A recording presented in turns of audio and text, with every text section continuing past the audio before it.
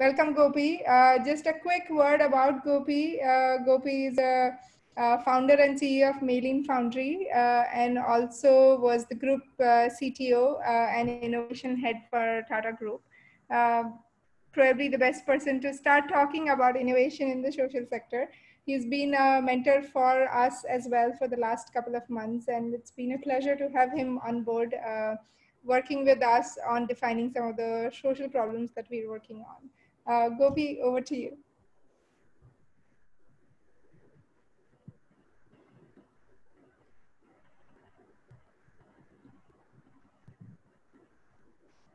Uh, Gopi, you seem to be on mute.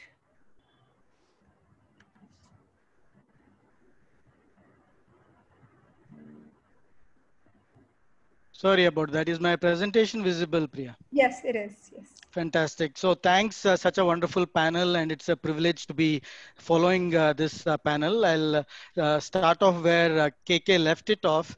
Uh, he aptly described that the starting place uh, for defining scale and achieving scale is a sharply defined set of uh, problems. So uh, happy to um, dive into that to some extent. And uh, uh, this I will dive in, of course, from the social impact standpoint, and that will be the thinking. While some of the areas might look um, very large to be solved uh, in the social impact sector. I will uh, play out how it can be done and what are the aspects that need to be looked at.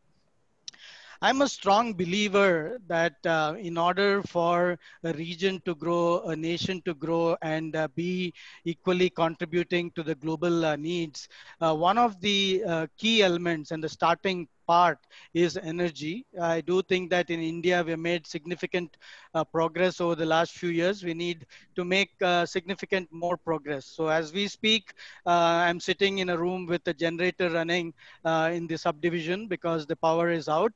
And uh, as we speak, uh, government might be talking about surplus power. so there is a disconnect.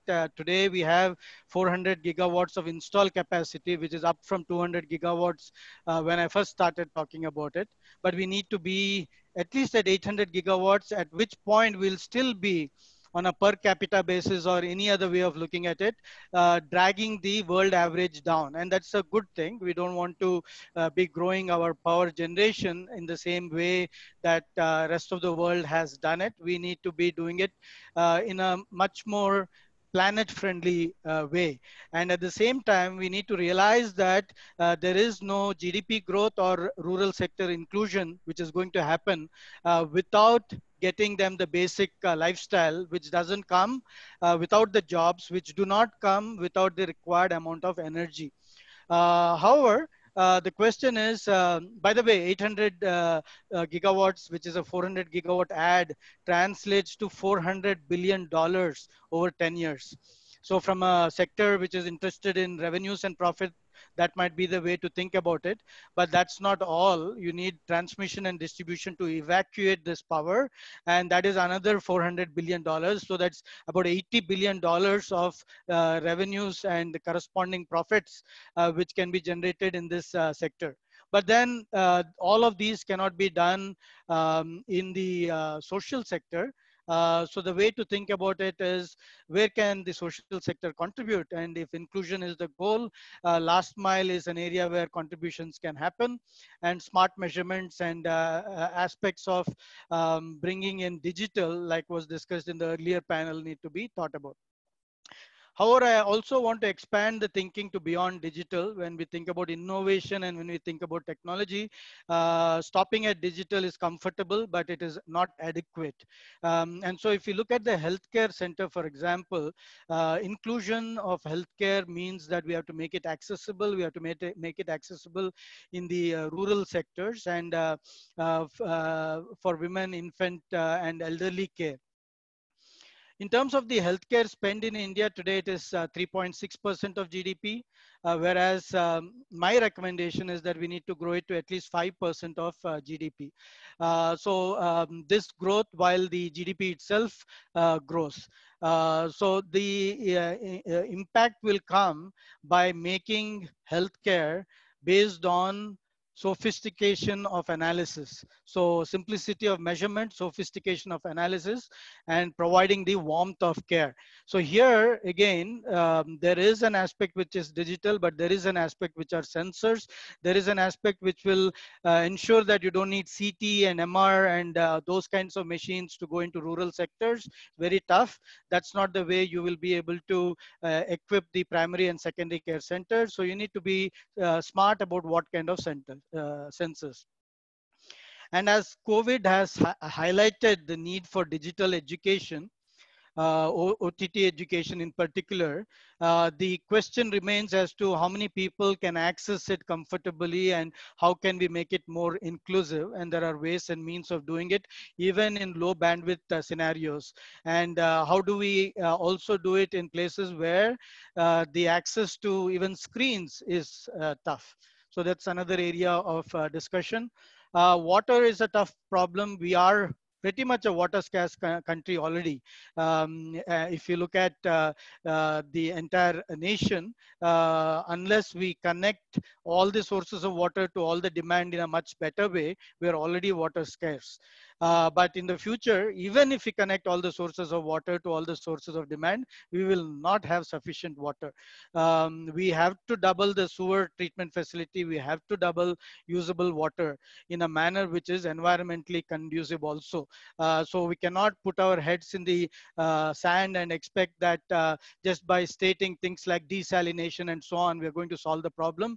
desalination might be a solution, but then you have to put in an effort to figure out what you'll do with the brine um, and how will protect the sea life when you uh, uh, dispose of the brine in the waters uh, near the shore. There are many more issues associated with it. many times, when you hear solutions which are simple, like getting water from the atmosphere and so on, you need to dig deep because when you hear simple solutions for tough problems, uh, that's what uh, they will end up being. They will not be complete. And that's why they have not picked up scale that we are talking about uh, today. And in order to do that, we need to do our own R&D. We are an abysmal 2% uh, of GDP in terms of uh, R&D as a few years ago. The current number, and I didn't put it here because uh, of the um, sudden change in the number, is at 1% of uh, GDP, uh, including government and uh, private sector. And so you can imagine if I said 2% was low, 1% is definitely needing improvement for us to solve a problem or uh, problems of Indian kind. Uh, we need to at least double there as well. So as you can see, the theme is 2x everything has to be 2x and it has to be done differently. It has to be reimagined like the previous panel Sharad uh, talked about. Um, we need to train 500 million workers to contribute hands-on in various of uh, these uh, problem areas and create those uh, jobs. And that's how we are going to create livelihoods and lifestyles which matter and we need to revamp, revamp government schools to be more experiential uh, and make people more ready to take on challenges uh, uh and use uh, technologies again which will make the difference food is another area. We have to reduce food wastage.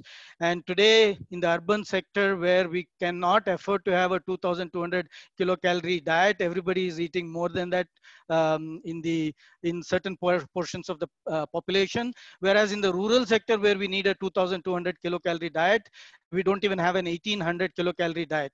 Uh, so how do we get there? How do we double the agricultural yield? Today our yield is abysmally low again. Again, it's a 2x uh, problem. Um, and uh, that will answer the question the Prime Minister posed in terms of income, but we need to do it without robbing the soil of its own uh, future, which has happened uh, in the past. So these are all problems which can be solved by technology, but its technology is not the silver uh, bullet.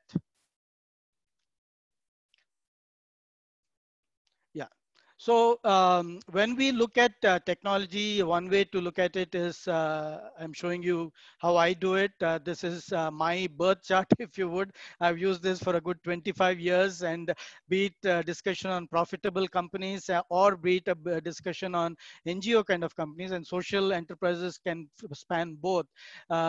everyone needs to have a view of something equivalent of this. There are geopolitical trends, which I start with, pandemic, migrant dynamics, climate change, terrorism, uh, micro capitalism, oil prices, emerging markets. These are all always in the news. Um, the uh, priority in the news might change, but this will drive the needs. Um, and then there are consumer trends and social trends, which are also part, which is social distancing uh, as an example, which is new, but premiumization. And by the way, if you think rural sectors do not require premiumization, we'll have to think again. Uh, the fact that we need uh, to produce for the greater masses doesn't mean that they will accept uh, lower uh, uh, quality, or for that matter, they don't want customization. Health and wellness, digitization, graying population, uh, COVID has highlighted that again, women decision makers. Uh, these are all things which will drive uh, the kind of needs uh, in the near future. So you see also the needs, our current needs and emerging needs, we need to have a view of both. Uh, so if it is today mobility, tomorrow it's virtual presence. It doesn't matter urban, rural. Connected rural consumers, last panel talked about it. It's not just the urban consumer, but uh, rural consumers are connected in low bandwidth. Uh, and tomorrow we need connected rural things, even if we want to enable uh, the right treatment of uh, straw, which is being generated through agriculture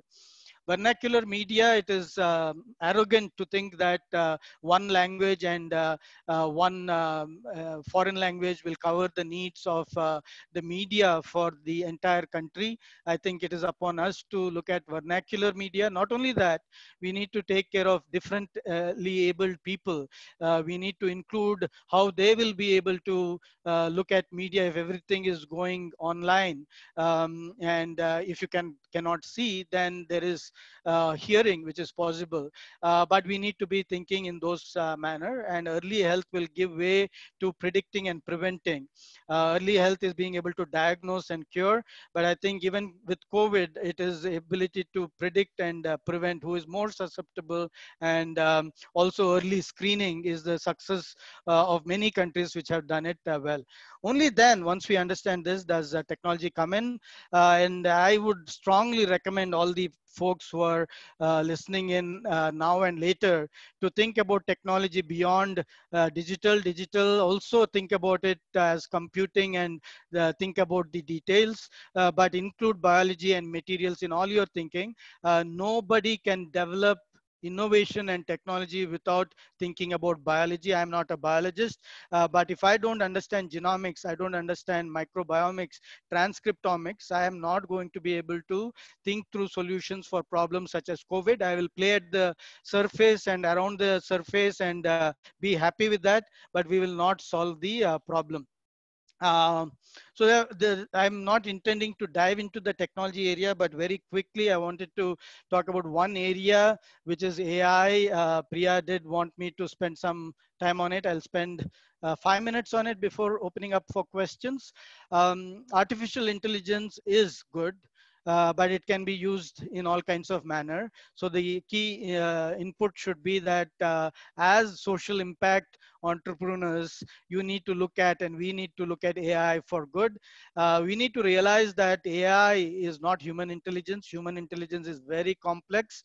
Um, IQ EQ, emotional quotient, the experiential learning, which is hand quotient, which is my terminology, and what the environment is giving to you in terms of contributing bacteria in your gut, in your skin, in every cavity that you have, and you have intelligence from that as well. It is not possible to replicate today in AI. What you're trying to do is pick one area which is the neural uh, neural understanding of our nervous system and uh, ma mathematically reproduce it um, so what we are doing is uh, looking at the uh, neuron, understanding that it performs really simple computation, uh, which is multiplication, aggregation, uh, bio, adding biases, which is addition, and then um, using a nonlinearity, uh, which are all very simple mathematical operations. So the strength of our own biological neur neural network comes from its massive interconnectivity and so also of the mathematical neural networks. And neural networks is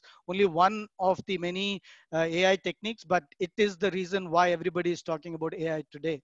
Uh, and there is development which is a um, little bit new in addition to the computational power, uh, which is the ability to throw anything at a neural network because of uh, small changes in the algorithm. So previously, if we had images and videos, uh, we would do things like discrete cosine transform and use only limited set of uh, coefficients if you would to represent the image losing much in the process. But today we can throw the whole image whole video um, with the audio into the neural network and uh, expect an outcome of the kind that we seek. Uh, so there is a lot which can be done uh, by using neural networks for sensor fusion. When you have uh, multiple sensors. Sensor doesn't have to be a, an electronic sensor. Sensor can be somebody uh, going and doing a survey in a rural sector. Uh, looking at for patterns and mapping patterns, automation of analysis that you already know how to do, but it takes a long time. Uh, implementing rules which some expert knows in his head, but bringing it out and implementing it in a manner which can scale. Uh, image analysis, natural language processing, voice recognition, and image recognition. These are all things which have made significant progress in the recent years. And the applications are many and they apply to social sector. In health and wellness, uh, we can really go sophisticated on the sensing uh, and go uh, very low cost on the sensing. We go very miniaturized on the sensing because you can go uh, even more sophisticated on the analysis using AI.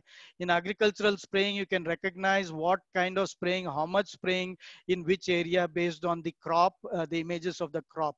You can determine what kind of uh, learning uh, uh, syllabus should be allocated to individuals and based on their progress, what kind of changes need to be made.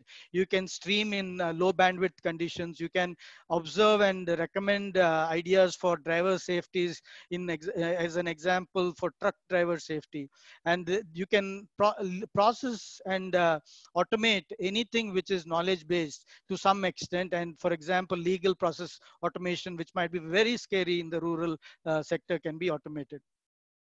I'll end with this. Uh, you might be curious to know if you're a social enterprise, uh, enterprise, how do you uh, look at an AI strategy? The questions to ask yourself are the following.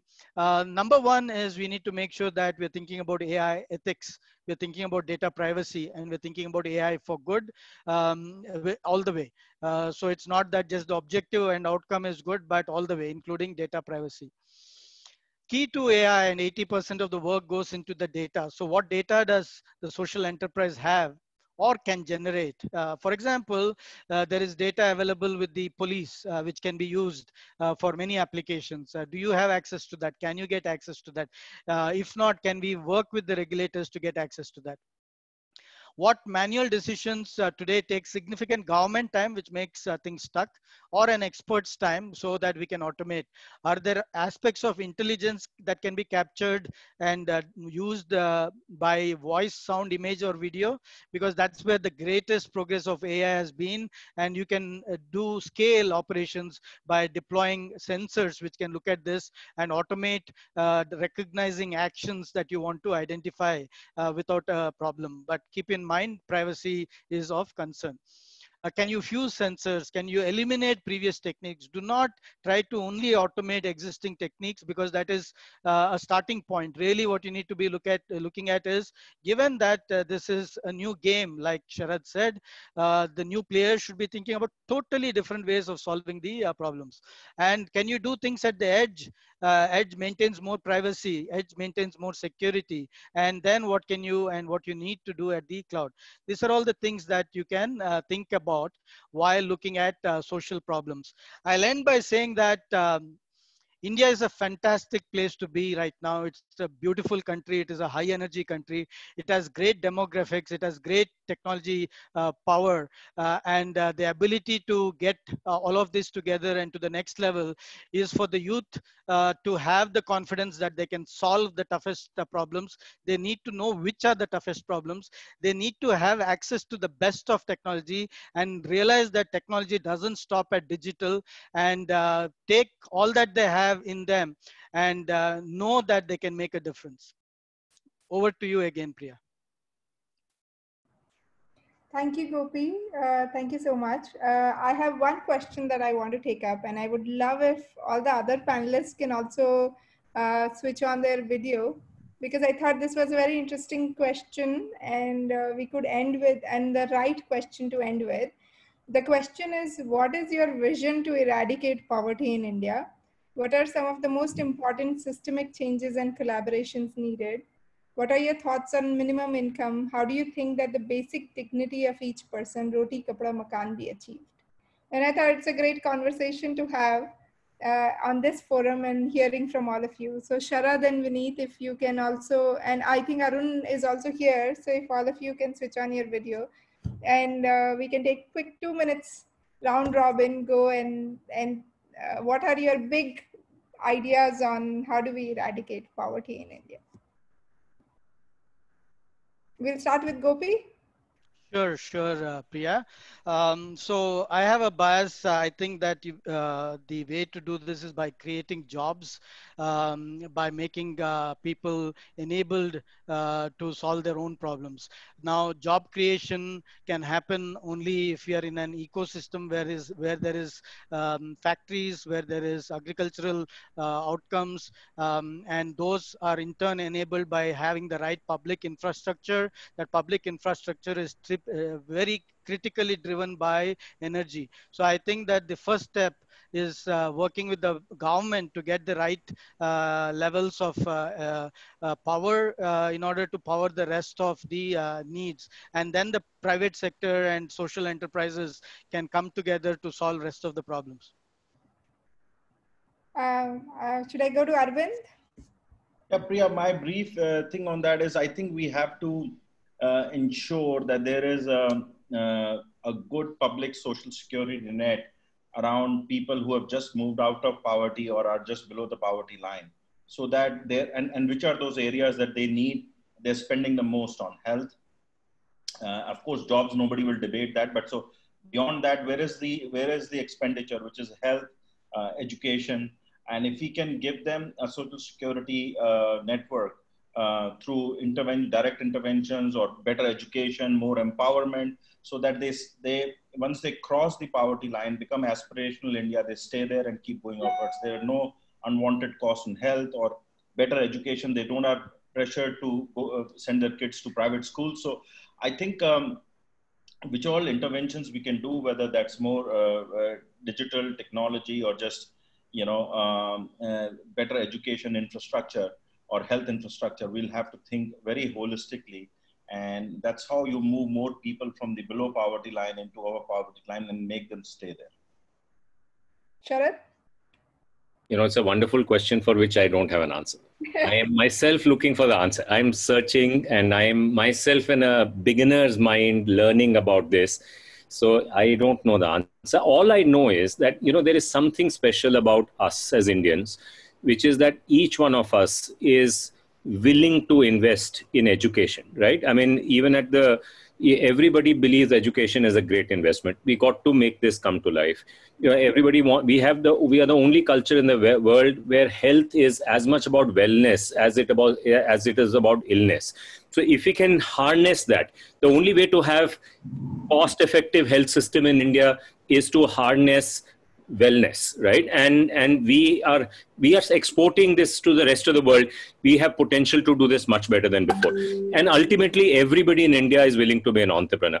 And this is where i think we need a new concept. We need to equip our smallest entrepreneur with what i like to think of it as zero friction entrepreneurship. We must be able to establish zero friction right? Today the friction of being an entrepreneur is very very high and I think there is some talk in the government to make ease of doing business better. But we need a game changing approach here. We don't need to improve 10 points, 20 points. We need to improve 100 points here. And so that requires rethinking the paradigm completely. And then we will unleash the energy of every Indian. And that is how I think we'll go forward. I am still learning the answer. I, I, if people have good suggestions on this, I am all ears. Thank you so much. Thank you so much. Thank you, Gopi, Arvind, and Sharad. And I think Vineet is probably there on mute as well. So thank you to all the panelists. And what an amazing closing session for us at the Social Innovation Track. And to all the attendees, thank you so much for coming in.